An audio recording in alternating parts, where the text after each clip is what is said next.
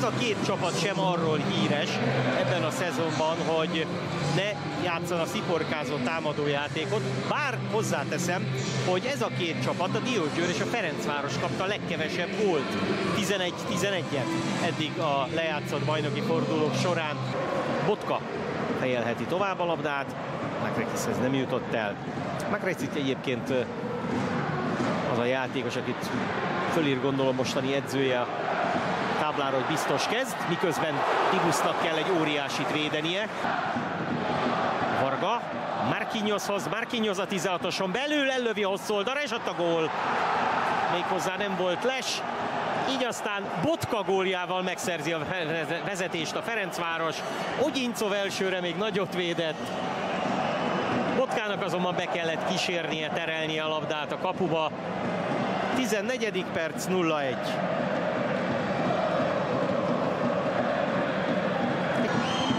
Üres a másik oldal, Marquinhos kap egy szép átadást, amelyet zavartalanul vehetett át, jól át is vette, és Marquinhos már lő, Mogyincovnak ez nem gond. Most viszont Bárdos lép föl, Bozseg Vancás. És most a szélen ott van Pernambukó. Befelé cselez, mert ballábas, Pernambukó lő, Dibusz. Ramirez érkezik mellette, Marquinhos. Ramirez kapja, Ramirez vissza, és ott a gólhelyzet, Berramdán mellé lövi.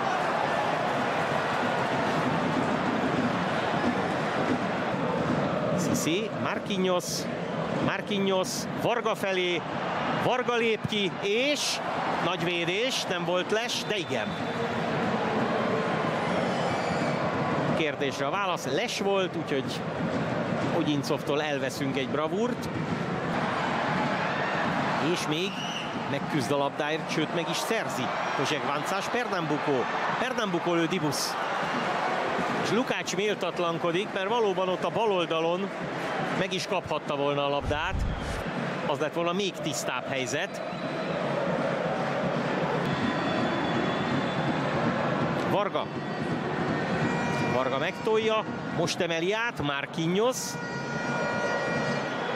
Ramirez is megérkezett. Marquinhos. Lövőhelyzet Abu Fani előtt. Abu Fani kapufa.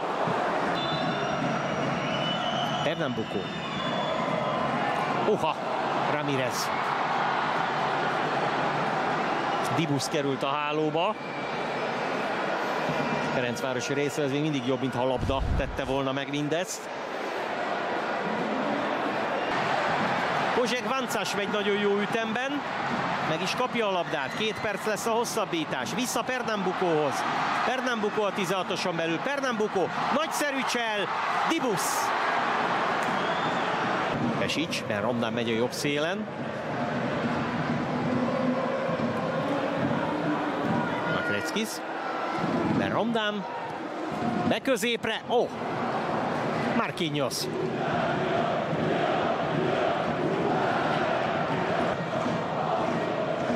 Ramirez szép csellel indul befelé. Ramirez, Pesics, Pesics lő, gól!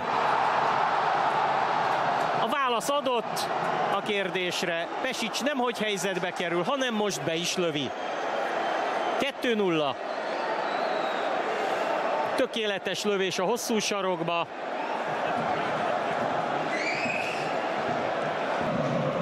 Kozsek Vancás Pernambukóhoz vissza.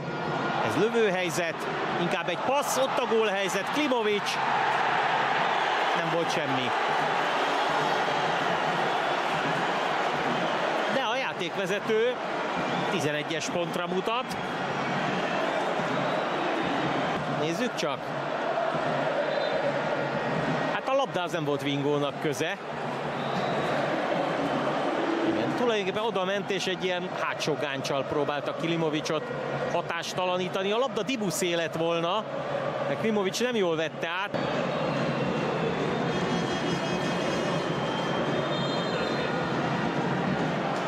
Kozsek Vancás. Egy-kettő. Becsapta Dibuszt. Szép itt a Diósgyőr.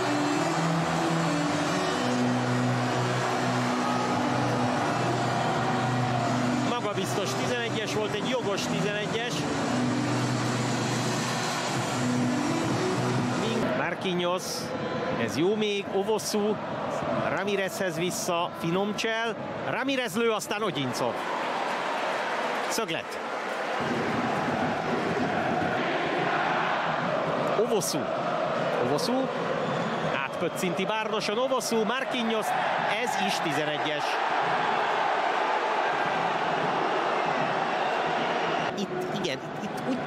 Ugyanaz, hogy a csatár lép a védő lábára. Igen, úgy tűnik. Az első félidőben volt ilyen, ugye ugyanennél a kapunál, most Marquinhos lép rá Szatmári lábára, nincs 11-es.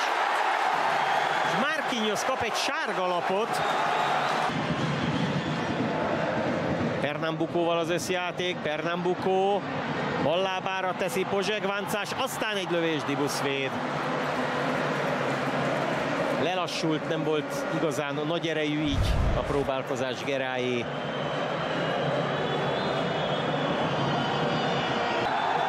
Kettő egy győzelmet aratott idegenben a Ferencváros. A Diósgyőr hősiesen küzdött, és az első félidő alapján akár döntetlen is lehetett volna, vagy a Fradi is vezethetett volna jobban. Mindent egybevetve, talán ennyivel jobb, rutinosabb volt a Ferencváros csapata.